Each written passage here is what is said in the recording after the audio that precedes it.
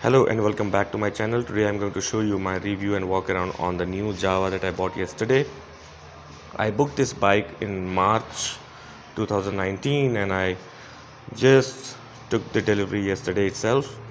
So the number is still pending.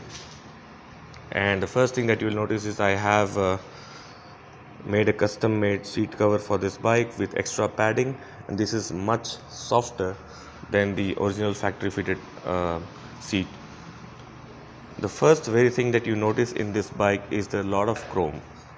The original Jawa had a two stroke engine but this one has a huge 293cc four stroke engine that delivers 27 horsepower which is much um, better than the old Jawa.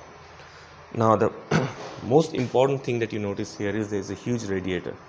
And this is the only part which is plastic apart from this part of the bike which is also plastic Apart from these two things, every component in this bike is solid steel. Everything is steel here. There are no plastic components. Now, I just want to do a quick compare with the old Jawa, the new one. Now, the first thing that you will notice here is this bike has a double down tube cradle type frame, wherein the old Jawa had a, a single down tube cradle type frame.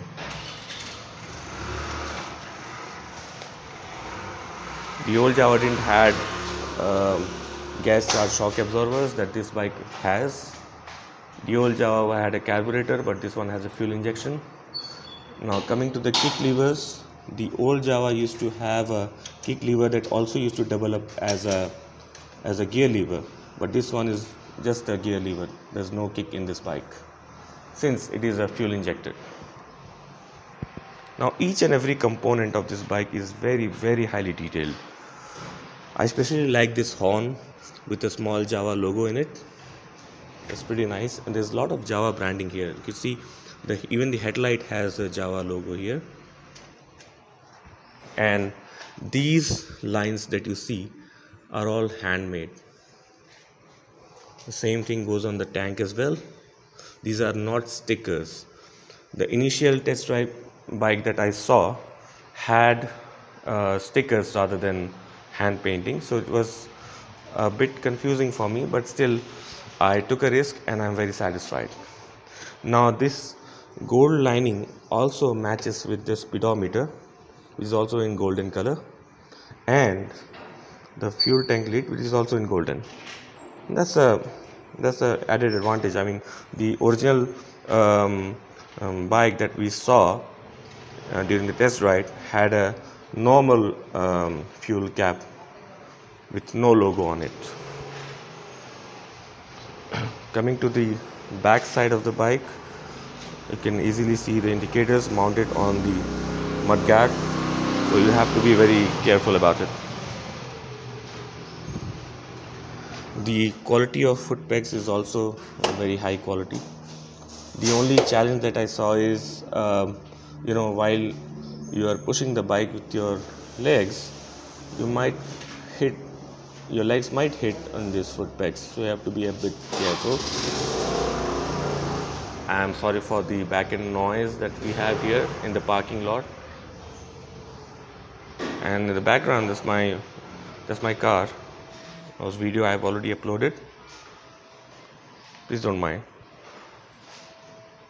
Now this is a single channel ABS version so it has a huge drum brake at the back wheels. It's a huge huge drum brake I think it's very close to the um, to the Royal Enfield. And, and and few people have started comparing this with the Royal Enfield but I would say it's not fair to compare these bikes with Royal Enfield because uh, Royal Enfield is a vintage bike and it has a classic engine, but this one is a is a classic bike with a modern sports bike engine. So these two bikes are of a different category altogether. You see this?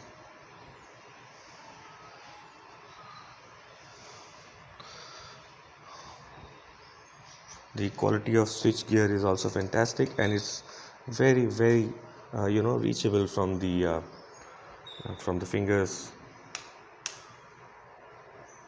So very high quality.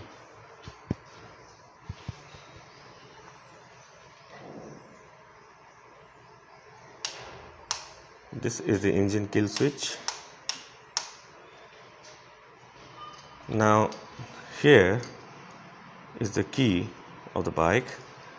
All that you have to do is put it here turn it on.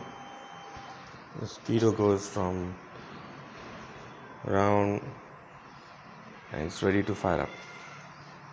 Now if you want to lock the handle you have to remove the key and turn the handle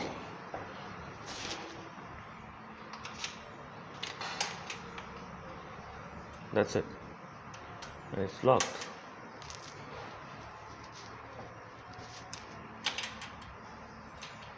So this way you can lock the handle. Now your bike is safe.